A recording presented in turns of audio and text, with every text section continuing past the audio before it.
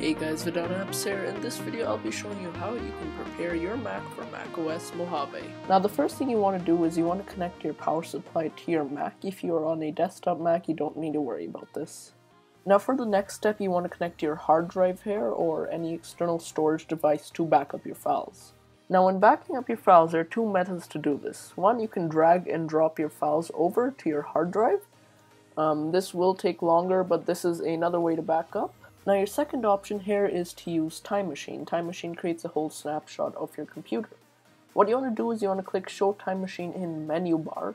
If it's your first time uh, using Time Machine or plugging in your hard drive, it'll ask if you want to use this hard drive for Time Machine and say yes for backup. In the top right, you should see a little Time Machine icon, so you want to go ahead and click on that and simply click Backup now once your uh, hard drive has been connected so just like that and then it'll start to prepare the backup. So the preparing backup stage of time machine will take a decent bit of time depending on your computer but even on an ssd in this computer it did take a lot of time.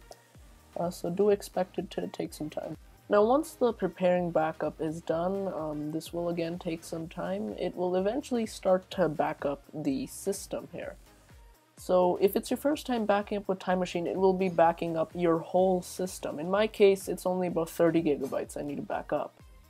Once it is done, you will see that the progress bar has disappeared, so you can disable Show Time Machine in the menu bar and quit out of Time Machine.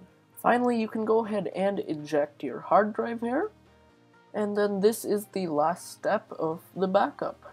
Anyways guys, thank you so much for watching, do subscribe, and I'll catch you guys in the next video.